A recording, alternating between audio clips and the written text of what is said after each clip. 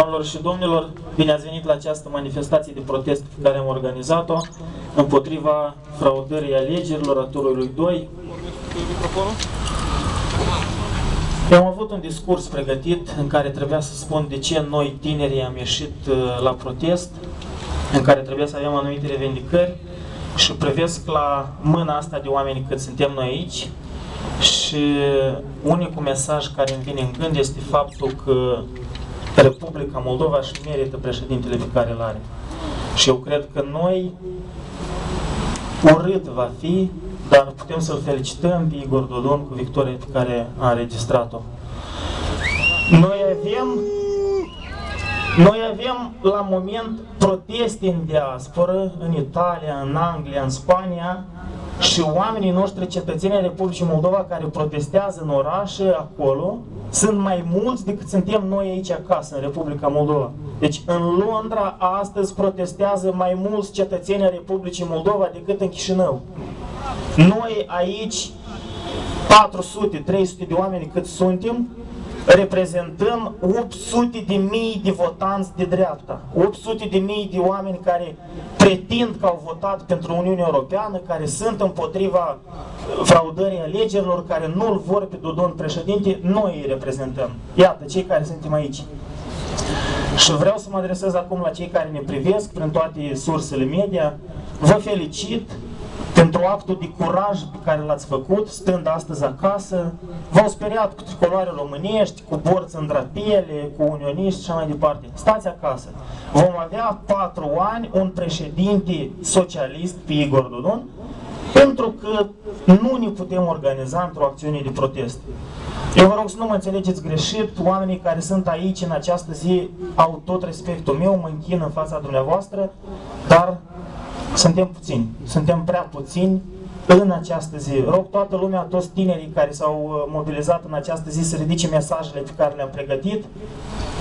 m am rugat pe rețele de socializare, inclusiv ca toți cei care de acasă se vor solidariza cu protestul să vină cu mesajele lor pregătite, ca iarăși să nu începem discuții despre faptul că cineva fură protestul, că vine cu slogane pregătite dinainte, de ce avem demisia CEC, avem și mesaj în engleză pentru partenerii strategici, cum obișnuim noi să spunem, vrem tolul 3, nu Dodon și așa mai departe. Acțiunea de protest de astăzi ar fi trebuit să ceară sau cere în măsura în care poate demisia conducerii CEC, cere demisia ministrului de externe, cere organizarea repetată a turului 2 de alegeri, cere deschiderea mai multor secții de votare în diasporă pentru că cetățenii care, vă spuneam, protestează în număr mai mare astăzi pe stihotare decât aici acasă în Republica Moldova, au dreptul la vot și trebuie să-și exprime acest vot uh, drept fundamental. Eu, eu pur și simplu nu știu ce să mai zic. Noi uh, eram uh, cumva uh, nu pot să zic speriați, dar intimidați, ne gândeam, uh, poliția ne pregătea scenarii, ne spunea să fim atenți la provocatori, să nu degenereze în 7 aprilie, să nu se întâmple cazuri și așa mai departe.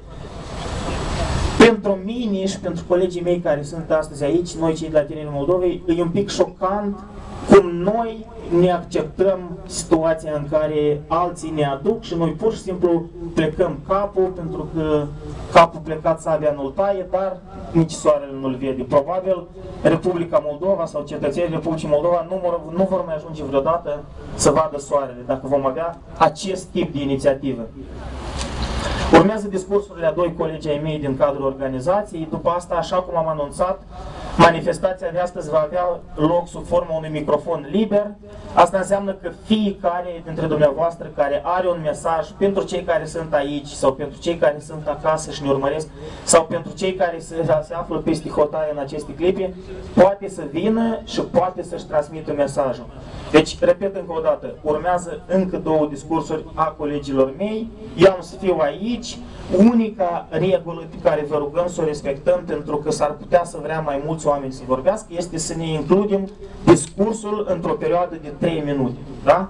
Deci, În momentul în care o să treacă 3 minute, eu am să încerc să îl opresc pe cel care se află la microfon, să nu credeți că este o încălcare a dreptului la uh, discuție, o încălcare a dreptului la vorbire, pur și simplu vor vrea mai mult să vorbească, de asta trebuie să ne respectăm reciproc și să avem cu toții timp pentru asta.